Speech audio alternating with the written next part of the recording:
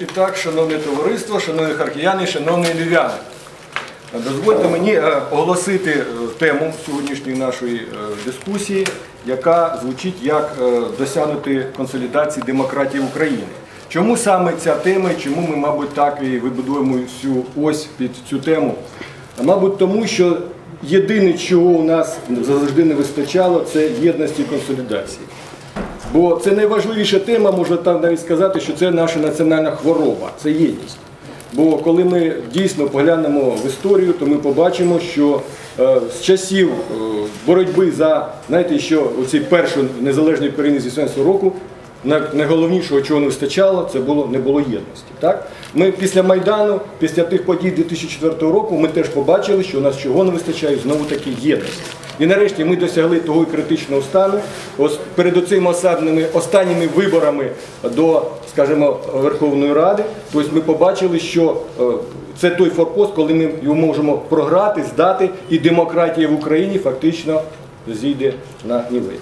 Тому, мабуть, і ця тема є настільки важливою, і ми сьогодні будемо намагатися яким чином досягти якогось консенсусу, е, будемо ем, вести розмову, щоб вона була плідною і е, нарешті були у нас якісь нароботки, які ми могли би далі просувати.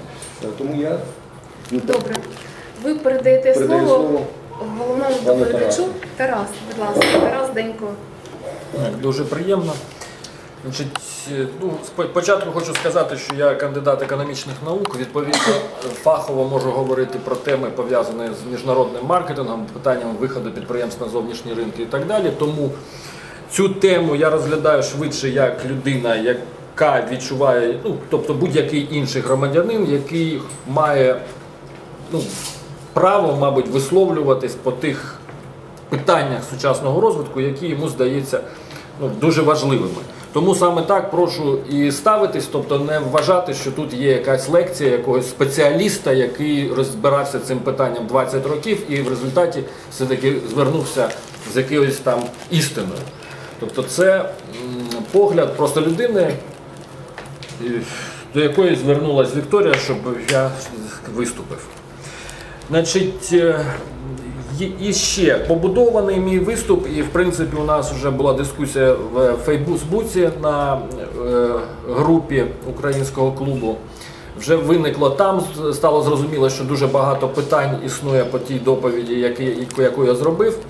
Тому я буду, коли виступати, мабуть, я буду окреслювати деякі ті точки, якраз по яких існує спірний момент, і на які, я думаю, під час засідання ми так чи інакше повинні е, реагувати і обговорювати, з якого боку до цих там питань, моментів, де треба шукати якесь рішення чи ем, там е, область рішень, ми можемо е, е, ми повинні тут обговорювати їх. Отже, е, почати хотілося б з того, що питання взагалі демократії і консолідації демократії, на мій погляд, воно відноситься до ряду таких е, найважливіших е, чинників, від яких залежить нормальний розвиток України. А як ми в одній розмові приватній говорили, то її виживання або там рятування України, якщо ми хочемо говорити в термінах таких більш радикальних.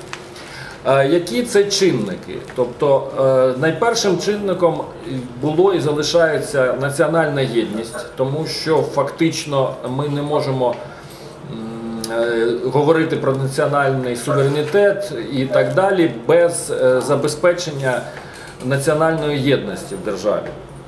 Другим є громадянське суспільство, яке є активним і здатне впливати на владу. Третім є, е, в принципі, уявлення, яке досить таки широко зрозуміло громадськості, яку Україну ми будуємо, і- в усякому випадку, якщо це не повинно бути консолідоване уявлення одної особи, одної, ну верніше, всього суспільства, то це бажано було б, щоб було уявлення хоча б основних політичних гравців. На сьогодні політичні гравці уникають. е, На сьогодні політичні гравці уникають е, визначення, в принципі, е, яку Україну ми будуємо, крім таких якихось загострених політичних моментів, де, де відбувається ця політична боротьба і гра. А хотілося б, щоб ми перейшли до якісної політики, де люди, які пропонують е, себе у владу, пропонували в принципі і рішення, що, що, що буде, е, за що вони йдуть у цю владу, за, за, які ідеї.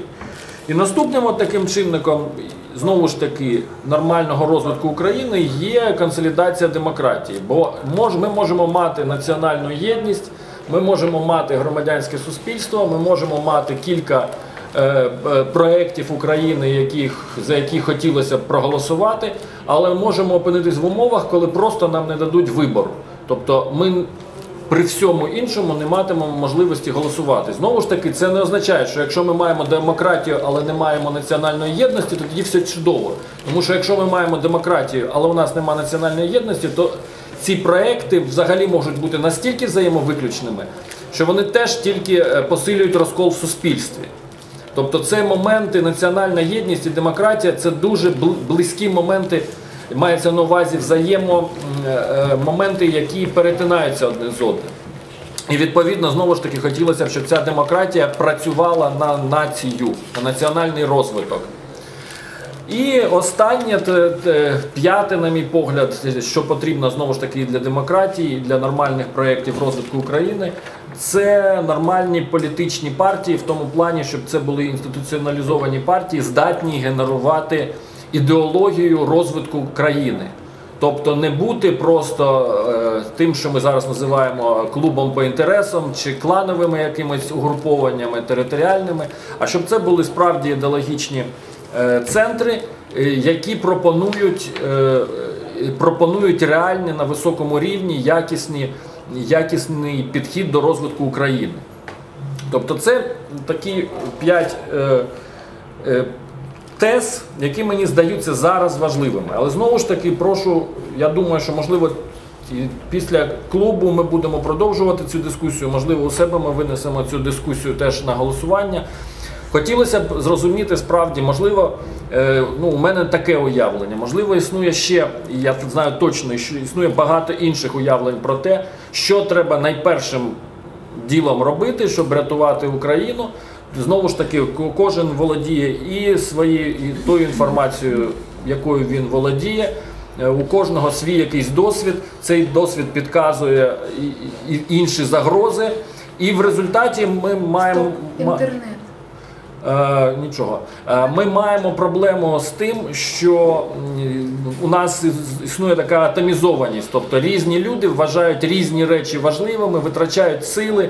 Більше того, критично ставляться для спро, до спроб там е, другої особи щось ініціювати, тому що ну не бачать всі цьому цінності. Тобто я зараз говорю про демократію, а хтось мені скаже, зупинись, тут хоча б врятувати свободу слова, припустимо, яка там демократія, і все, ми вже побігли туди рятувати. Значить, і в результаті нема консолідованості, в тому числі і громадянського суспільства, навколо тих якихось пріоритетів, які є важливими. Мені здається, що уявляти е, тим людям, які хочуть блага е, Україні, які хочуть їй довгого життя, уявляти в, такий набір основних засад, які повинні постійно перебувати в, е, в під їхнім пильним наглядом, і за, якщо виникають якісь загрози, вміти захищати ці речі, мені здається, що це дуже було б важливо і на часі в цілому. Тепер е, щодо е, безпосередньо демократії. Знову ж таки, зараз я не буду зупинятись на цій тезі, але виявилось спірним взагалі питання в деяких у нас дискусіях, що ми уявляємо під демократією, і чи потрібна взагалі демократія, в якій мірі вона потрібна.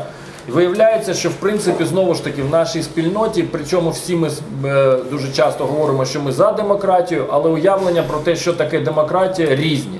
Один вважає демократію це тільки те, що аби його чули. Інший вважає демократію, що це тільки коли от, якщо розумні, то нехай розумні між собою домовляються.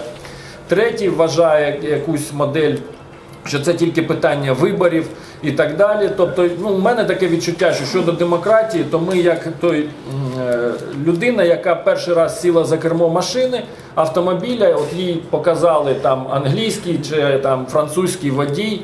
Як воно дуже добре і легко їхати на такій машині під назвою демократії, потім каже: ну а тепер ти заводь та їдь. І раптом виявляється, що машина абсолютно не їде, і, і не заводиться, і глохне, і таке інше, таке інше. І, але це всього-навсього ми вчу- це якби ми говорили про автомобіль. А коли ми говоримо про демократію, взагалі про те, що ми навіть не уявляємо, де там у неї які важелі. От, і навіть дуже часто не маємо такого техні... уявлення про те, як технічно воно все працює, і домовленості знову ж між собою, то це справді є такою складною проблемою, е, знову ж таки, для осмислення. Тобто ми хочемо захистити, виявилась проблема демократії. Дуже часто ми маємо навіть різні уявлення про те, що хто збирається захищати і від кого. Бо один захищає від іншого захисника. От і відповідно це теж, е, мабуть, варто дискутувати. Ми вийшли на це в тій, в тій частині, що демократія визначається конституцією.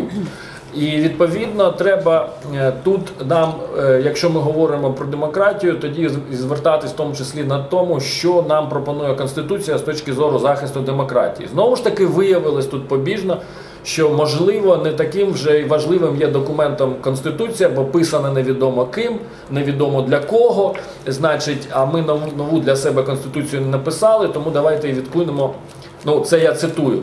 Відкинемо і, і, і чи не відкинемо, але е, значить, ми не можемо і на це звертатись. Але в принципі щось же має, має бути в основі того, коли ми визначаємо, що є демократичною Україною і демократичні засади. Навіщо це е, зрозуміло потрібна нам демократія, якщо вже в практичний знову ж таки я вертаю всіх назад, що це не просто теорія, е, а е, просто хочеться поговорити. А до того нам потрібна демократія, що знову ж таки, навіть якщо ми матимемо кілька проєктів нормальних розвитку України, якщо ми матимемо кіль нормальні команди, професійні команди людей, здатних працювати на Україну нормально, але якщо не будемо мати можливість, я маю в увазі як народ, як нація, обирати е, нормальний робити вибір через нормальні демократичні процедури, то це все пусте. Відповідно, е, відповідно для того нам все-таки потрібна демократія. Для, е, як виявляється, як виявляється, демократія в суспільствах розвинених вона не з'явилась миттєво. І так чи інакше, всі суспільства проходили шлях від такого е, слабкого уявлення про, про, про те, як це працює, і фактично до е, ну, ну, якщо відомо, що ще в Сполучених Штатах Америки на початку 19 століття там вибори відбувалися таким чином, що значить кожен вкидав по 20-30 бюлетенів за себе там і за всіх інших, а потім там, ну це відомі факти, там, значить, е, е, чор- чорних рабів вони заставляли голосувати по 20-30 разів там і так далі. Це південні штати підтасовували ці речі. Там описані відомі всі, е, і як відбувалась побудова демократії в Англії і в Сполучених Штатах Америки, через які складні соціальні баталії. Тобто ми розуміємо, що демократія як така не є чимось, що от е, раптом всі прокинулись і, і слідують. Значить, відбувається процес переходу суспільства від того, що є якісь там візіоністи, яким здається, що це потрібно, чи є якісь там чинники, які тиснуть на суспільство, чи бажання, от ми хочемо мати демократію, до того, що реально демократія е, в суспільстві працює. Цей процес називається консолідація демократії. Консолідація демократії має е, дві складові, як мінімум, а можливо три. Одною з складових є формальне, е, е, формальне процесуальне забезпечення того, щоб демократія працювала. Тобто мається на увазі закони, які регламентують так чи інакше демократичні процеси. Але як виявляється, самих по собі законів не вистачає, якщо є бажаючі то порушувати ці закони, Е, І якщо є е, знову ж таки е, поблажливе ставлення в цілому громадськості до тих, хто так діє, бо ми ж розуміємо, що вони там або з гарних намірів, або тому, що вони від Бога мають більше грошей, а тому мають на це право, і відповідно нема нам що в це втручатись. Значить, тому е, двома ще чинниками, крім е, процесуальних таких формальних моментів, є е, суспільна культура, яка е, унеможливлює е, недемократичні способи е, прийняття рішень в країні, і знову ж таки погодженість еліт. Що в цілому е, щодо того, що будь-які спроби відхилення від демократичної процедури є небезпечними і не можуть ними використовуватись. А якщо той чи інший гравець від політичних еліт це використовує, то відповідно він має бути забанений, тобто він повинен бути виключений з цієї політичної боротьби.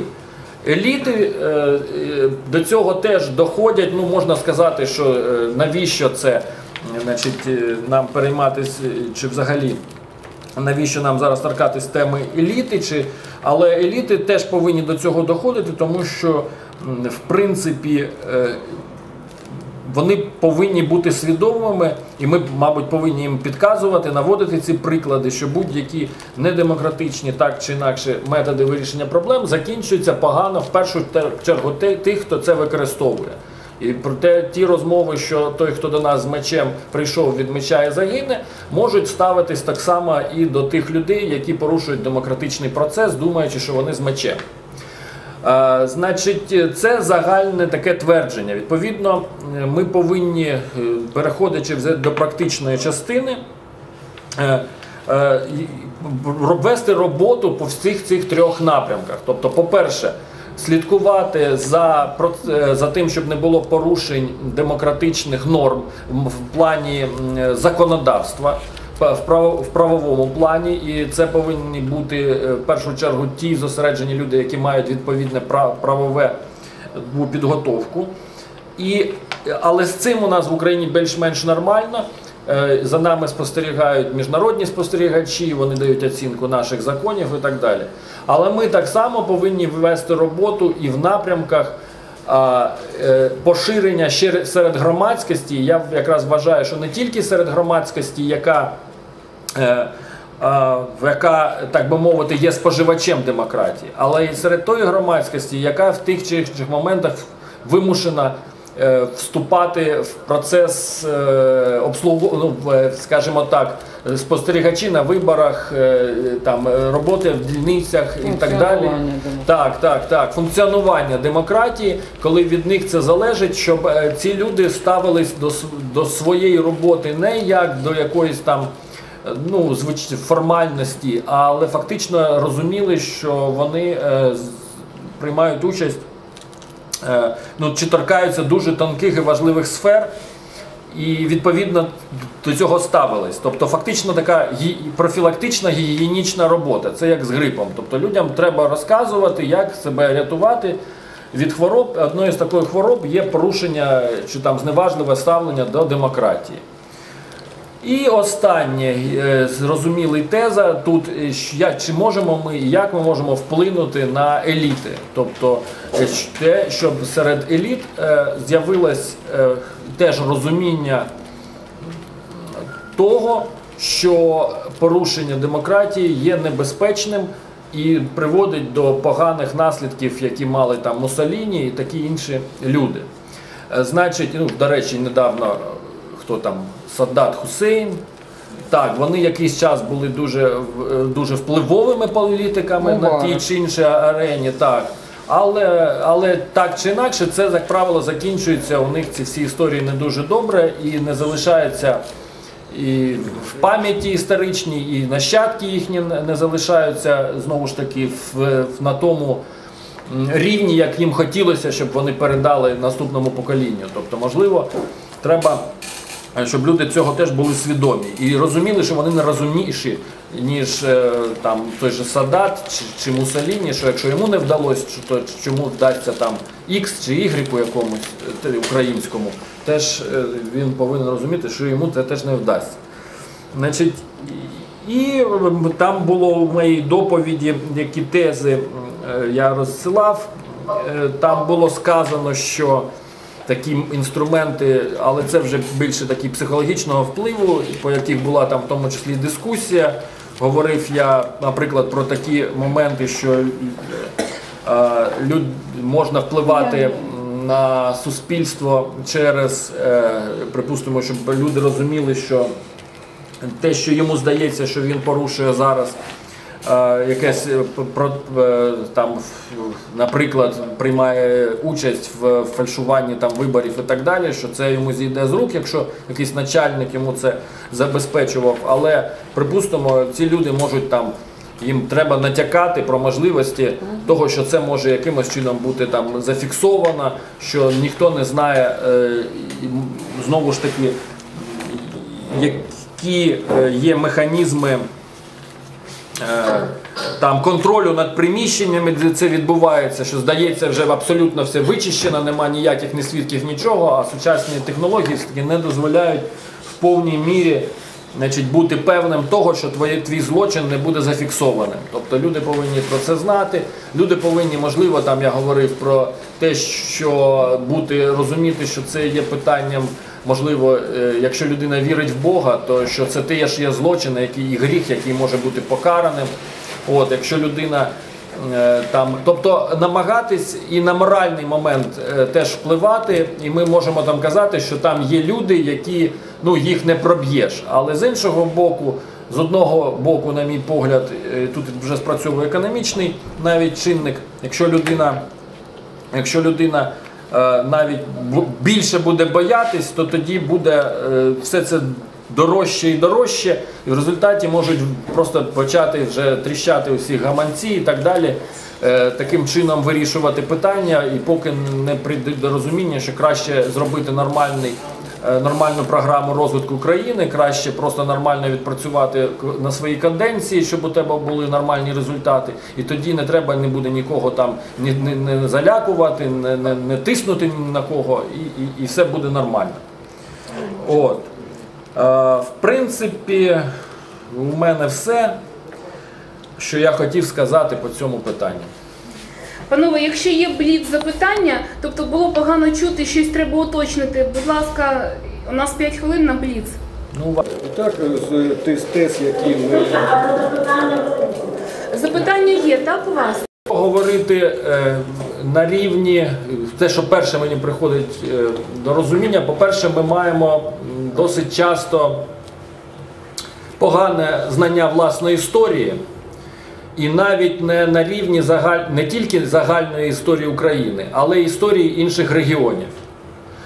І е, у нас нам здається, що припустимо Слобожанщина і Полтавщина це майже то саме, припустимо. При глибокому вивченні виявляється, що ці два регіони абсолютно різні, виникли в різні абсолютно часи, населяють їх абсолютно різні люди і так далі. Це може бути першою причиною. Друга причина полягає в тому, що ми, е, я це вважаю все-таки важливою причиною, не маємо уявлення про перспективи розвитку власної країни. І третя така серйозна причина, над якою ми вже рік, мабуть, про яку говоримо, це так зване поняття бренду. е, Ми це називаємо таким чином: бренд е, держави, бренд України в тому плані, що справді у нас не зроблено з. Тобто при слові Україна у, у широкого загалу, скажімо, сходу України не завжди формуються е, позитивні, позитивні якісь відгуки. Але ми провели дослідження, виявилося, виявилося, що у нас е, реагують е, яким чином більшість в принципі бажає е, гарного розвитку Україні, тобто у нас рівень так званої ідентичності, тобто людей, які б хотіли нормального життя в Україні більший, ніж рівень любові. Чому? Тому що любов вона пов'язана не тільки з історією, але й з такими речами, як влада, з такими речами, як е, бізнес-середовище. Е, А ви знаєте стан екології, а ви знаєте, що це теж є проблемами.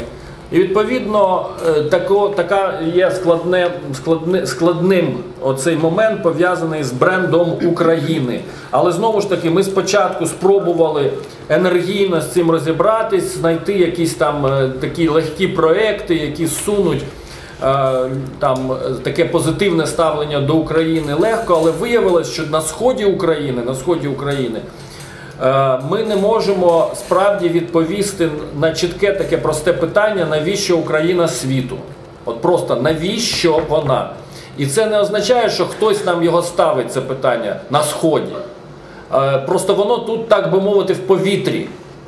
От. Е, значить, і, і ну, до цього я прошу ставитись з розумінням. Можливо, е, у Львові це так не відчувається, але воно знову ж таки, я думаю, відчувається, як тільки львів'янин поїде кудись е, пояснювати в Німеччину чи ж Сполучені Штати Америки, що це за диво таке Україна і що вона пропонує.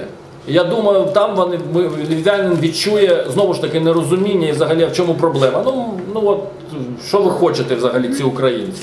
Все, оце ну моя.